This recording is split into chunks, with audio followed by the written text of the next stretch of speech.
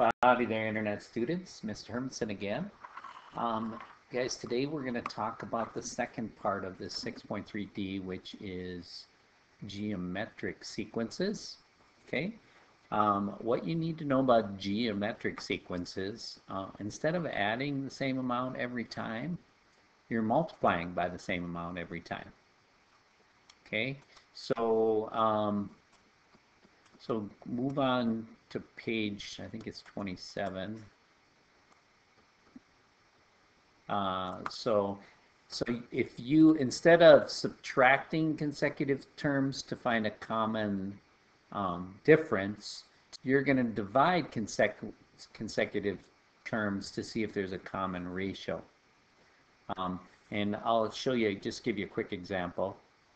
So let's say my first term is 2, my second term is 10, my third term is 50, then it would be 250. This is what we call a geometric sequence. Now if I divide any term by the previous term, 10 divided by 2, I'll always get the same number. So 50 divided by 10 is 5. 250 divided by 50 is also 5. So we get, um, we call it a common ratio because you're dividing two numbers and that's a ratio. Okay? So, um, and then once you know that, um, a lot of the, um, the formula is pretty much the same. I'll just give you a quick example and then we'll talk a little bit more about it. Um, you need to know that common ratio, that 5, that's going to be part of your formula. And then you also need to know your zeroth term, just like we did in, in the past one. Now, to find this zeroth term in, so remember this is going to be your first term, second term, third term, fourth term. So the invisible term, instead of adding or subtracting to find that term, you're going to have to divide to find that term by whatever you're multiplying by. Because this number times 5 has to equal 2. So I'm going to do 2 divided by 5, which is 0.4, to get that zeroth term. All right, and then the formula looks like this. f of x, and you might want to use a g here just because it's a geometric sequence, so g for geometric, whatever. Um, but um, it's exponential because we're multiplying. So we're going to use the exponential equation. This is your multiplier, your common ratio. So 5 will go there for this sequence. x is the term number. So to find the first term, you're going to put a 1 there where the x is. To find the fifth term, you're going to put a 5 there. And then a is the zeroth term.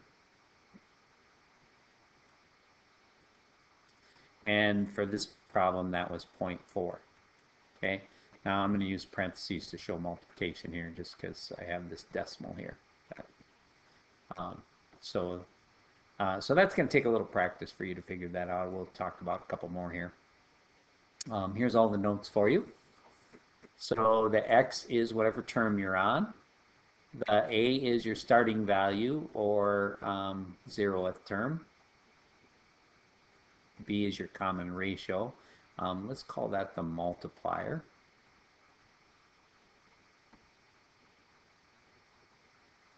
And then X is the term number.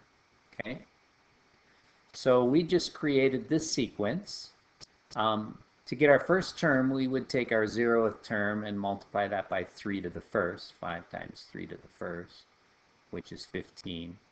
And then to get the next term after that, this is our multiplier 3, so we keep multiplying by 3. 15 times 3 is 45, and so on. Now, if I wanted to find like maybe the sixth term, what I would do is I would do 5 times 3 to the sixth power, which is going to be a pretty big number. I'm not going to multiply that right now. But um, the first thing we're going to do is just learn how to recognize when it's a geometric ratio. Geometric means um, it's exponential. There's a common multiplier, common ratio. So to figure that out, we're going to divide. I'm going to do 6 divided by negative 1, which is negative 6. I'm going to do negative 36 divided by 6, which is negative 6. And I'm going to do 216 divided by negative 36, which is also negative 6. So um, the common ratio, let's call that R for common ratio. Actually, it's what letter in here? It's the B, isn't it, you guys? So B equals negative 6 in this one. So we're going to say yes, B equals negative 6. All right, I'll do one more with you, and then you can try the rest. Okay, so I'm going to do 1 divided by negative 1. That's negative 1. 4 divided by 1 is 4. I am done. This is not a geometric sequence. You need to get the same ratio. All right, you try the next 4, see what you get. If it is geometric, then find B, the common ratio.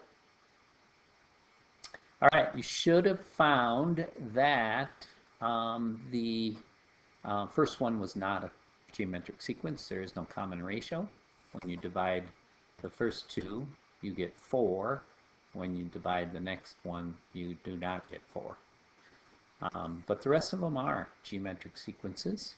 Okay.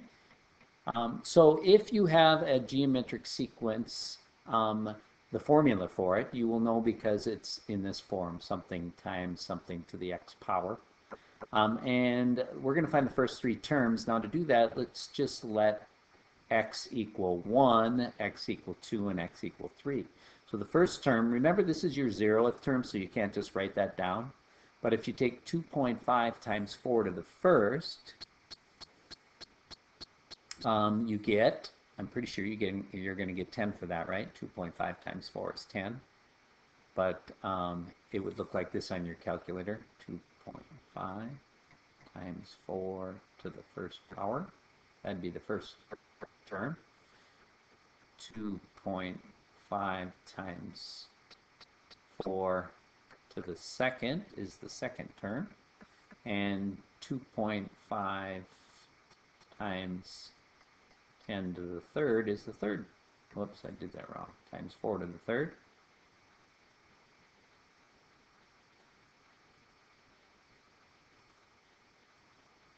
So 10, 40, and 160 are the first three terms.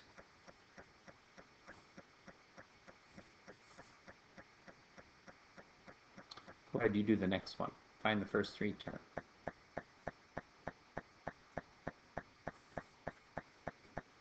All right, here's what I got for those. Okay, here we're given the first term and the common ratio, that should say ratio. You're going to find the first three terms, so I'll do one for you. So the first term is 0.8. Let's just write that down. Um, the common ratio is 4. That means we're going to multiply by 4. 0.8 times 4 is 3.2. And then we're going to multiply 3.2 times 4, which is 12.8.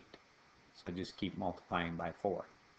On your calculator, an easy way to do that is just to put in your first term, 0.8, press enter, then press times whatever number you're multiplying by. In this case, it's 4.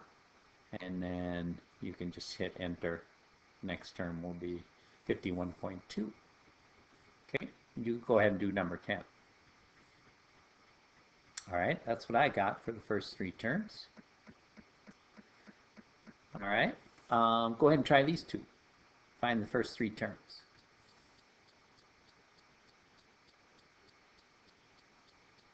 All right, we're given here the first two terms of a geometric sequence. Well, no, just two terms in general. We need to find the eighth term and the formula. So we're given the fourth term and the fifth term. I'm just going to write it out like this. First, second, third. Fourth term is negative 12. Fifth term is negative 6. Um, so if I want to divide these two numbers, negative 6 divided by negative 12, I get 0.5. So that is my common ratio, my B. So let's write that down. B equals that. Okay. So I know that I'm multiplying by 0.5. So now um, this is my fifth term, is negative 6. If I want the eighth term, I can just multiply by 0.5 a couple more times, three more times. So I could do, uh, just enter negative 6, and then times 0.5. That would be the sixth term, seventh term, eighth term, negative 0.75. Um, so the eighth term. And I also need to find the formula, which means I need to go all the way back to, remember this is your fourth term. So I need to work backwards. I need to divide by my multiplier, 0.5. 1, 2, 3, 4 to get the rest of my formula. So I'm going to take negative 12 on my calculator.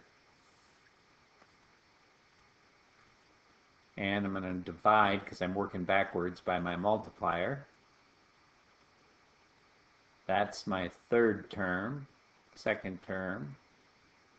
That's my first term. And that's my zeroth term, negative 192. So my formula is uh, f of x equals negative 192 times 0.5 to the x power. Um, you go ahead and try this one. This one's going to be a little tricky. See if you can work it out.